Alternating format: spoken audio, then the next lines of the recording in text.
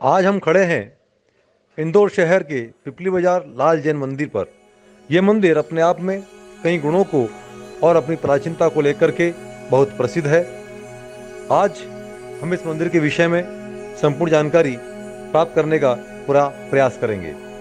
अजित है और साथ ही साथ मणिभद्र बाबा, जो कि सनातन धर्म में मोती बाबा के नाम से भी जाने हैं, आज हम इस मंदिर के बारे में दर्शन भी करेंगे और बात करेंगे कि यहाँ किन किन बीमारियों का गारंटी के साथ में बहुत ही विश्वास और श्रद्धा के साथ यहाँ भक्त आते हैं और टाइफाइड पीलिया, चिकन पॉक्स की बीमारियों से निजात पाते हैं।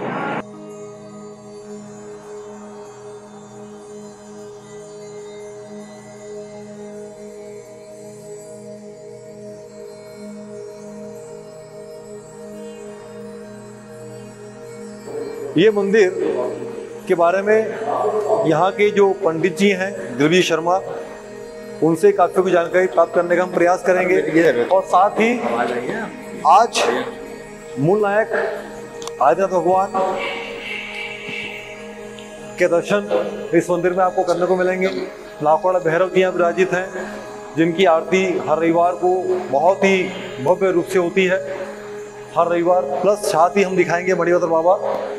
जिनका इस मंदिर में भक्तों का ऐसा अटूट विश्वास है कि जो भी भक्त रोता हुआ आता है वो इस मंदिर से हंसता हुआ जाता है। यहाँ गूँगे को ज़ुबान मिलती है और रोगियों को यहाँ पर जो है हर प्रकार से बाबा मणिभद्र का आशीर्वाद इनके अभिषेक से मरा हुआ पानी उनके कई सारे रोगों से उन्हें मुक्ति प्रदान करके आनंद प्रदान करता है।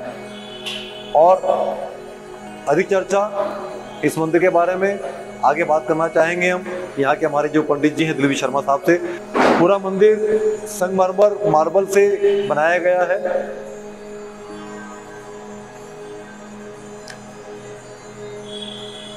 अब थोड़ा मैं पंडित से कहूँगा कि अंदर जो विराजित प्रभु हैं, इन सब के बारे में कुछ बता पाए कहूँगा विराजित हैं। अजितनाथ भगवान करीब साढ़े सात सौ, आठ सौ साल पुरानी भगवान जी की प्रतिमा जी है ऊपर नेमीनाथ जी भगवान है। वो भी साढ़े सात सौ आठ सौ साल पुराने भगवान है। ये मंदिर बहुत प्राचीन है। भव्य मूर्त है। मणिभद्र बाबा की रोज सुबह अभिषेक होता है। अभिषेक होने के बाद इनका अभिषेक का पानी जनरल पब्लिक को दिया जाता है। टाइफाइड पीलिया माता जी यहाँ से ठीक होता है। कैसा भी बीमार आता है एक बार वो ठीक हो जाता है। और विशेष बात इस मंदिर की जो यह है कि जो रोगी आते हैं, उनसे किसी प्रकार का कोई भी शुल्क आगे रह कर क्या चलकर नहीं लिया जाता है? सिर्फ़ श्रद्धा से जो सुमन या अर्पित किए जाते हैं, वही बाबा को स्वीकार्य होते हैं। लाखोड़ा भैरव के दर्शन कर रहे हैं भी हम। लाखोड़ा भैरव जी की प्रतिमा यहाँ 1991 उन्नीस सौ इक्यानवे में स्थापित हुई थी। सबसे लेके आज तक कई सारे भक्तों का इंदौर शहर और इंदौर शहर के बाहर के भक्तों का यहाँ अटूट विश्वास है। हर रविवार यहाँ भव्य आरती और चमत्कारिक आरती का लाभ भक्तगण प्राप्त करते हैं। नागौड़ा भैरव जी की प्रत्येक रविवार सुबह दस, सवा दस बजे, शाम को सात, सवा सात बजे आरती होती है, भव्य आरती होती है। भजन होते हैं, नागौड़ा जी की नागौड़ा चालीसाएँ होती है। इंदौर में, पूरे हिंदुस्तान में नागौड़ा चालीसा का जो प्रचलन चला है, वो इसी मंदिर से चला है। एक बहुत बड़ी बात जो शर्मा जी ने बताई कि नाकोड़ा चालीसा चलन जो चला है।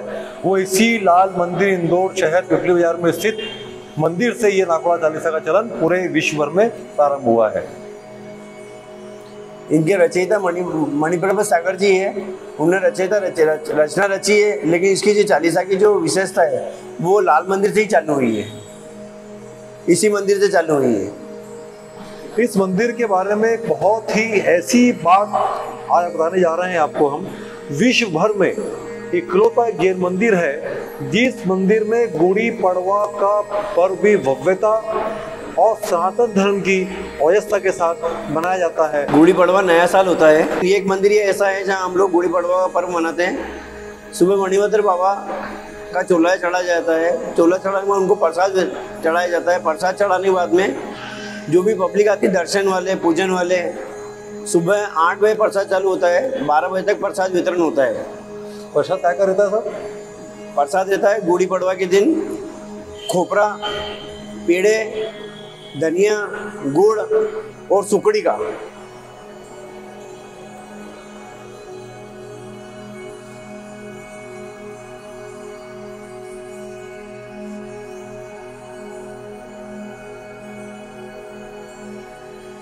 यहाँ के दर्शन मतलब फ़र्स्ट फ्लोर पर जो मंदिर है नेमनाथ जी भगवान का, अब उनके हम दर्शन करेंगे।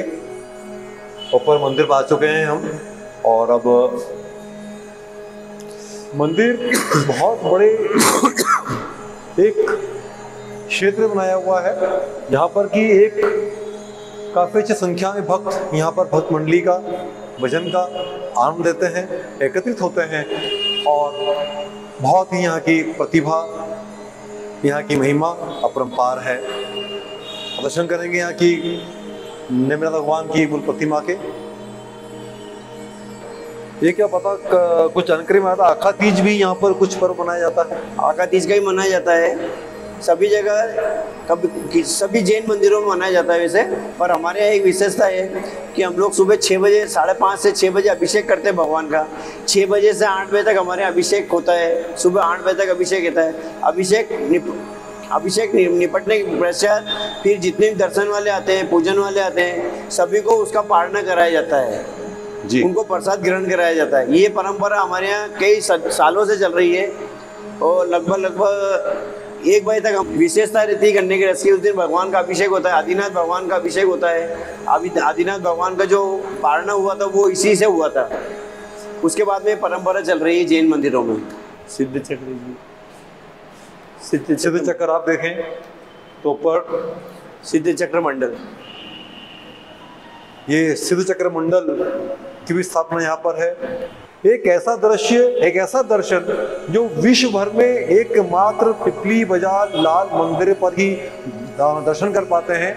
170 तीर्थंकरों का पट मूल नायक श्री अजीनाथ जी का एक बहुत ही भव्य दर्शन के रूप में 170 तीर्थंकरों का एक साथ दर्शन प्राप्त करना अपने आप में एक बहुत बड़ा अनुभव है, जो कि हम इस मंदिर में आकर के प्राप्त कर सकते हैं। काफ़ी नज़दीक से 170 तीर्थंकरों का एक साथ दर्शन, जो कि मेरे ज्ञान के हिसाब से ऐसा माना जाता है कि शायद विश्व भर में मात्र एक ही जगह ये हमको दर्शन प्राप्त करने का सौभाग्य प्राप्त होता है इंदौर शहर के लाल जैन मंदिर में। एक शर्मा जी जानना चाहूँगा कि ये मंदिर शुरू से यहाँ स्थापित था या इसके पीछे भी कुछ कहानियाँ हैं या इसके पीछे स्थापना को लेके कुछ बात है तो आप बताएँ। ये मंदिर सदियों पहले बहुत सदियों पहले, ये पहले राजवाड़ा में स्थापित था। राजवाड़ा से ये जब वहाँ राजवाड़ा बना तो ये मंदिर सियागंज गया, जो आज सियागंज के नाम से प्रसिद्ध है। और वहाँ के उस उस जमाने के जो राजा महाराजा थे, उस टाइम उन्होंने किराना मर्चेंट खोलने के लिए बोला तो सियागंज को चुनित किया उन्होंने। उसको नक्की करने के बाद ये मंदिर शिवविलास पहले ट्रांसफ़र किया गया। के पास जो शिवलास पैलेस है। शिवविलास पैलेस कराया गया वो शिवविलास पैलेस में भी कुछ इमारतें बनी है कुछ राजा महाराजों को कोई व्यवस्था होगी। फिर वहाँ उनको जगह हम पड़ी फिर ये जगह हमको पिपली बाज़ार में दी गई जो आज 145 साल से हमारे यहाँ ध्वजा चढ़ रही है। 145 साल होगा ध्वजा चढ़ते चढ़ते। ये विशेषता है मतलब अभी तो। आप गुरु महाराज जी कब से इस मंदिर का सेवा दे रहे हैं? आपके पिताजी भी सेवा में कब से रहे? मेरे पिताजी ने पचपन साल यहाँ सर्विस की है। पचपन छप्पन साल सर्विस की है।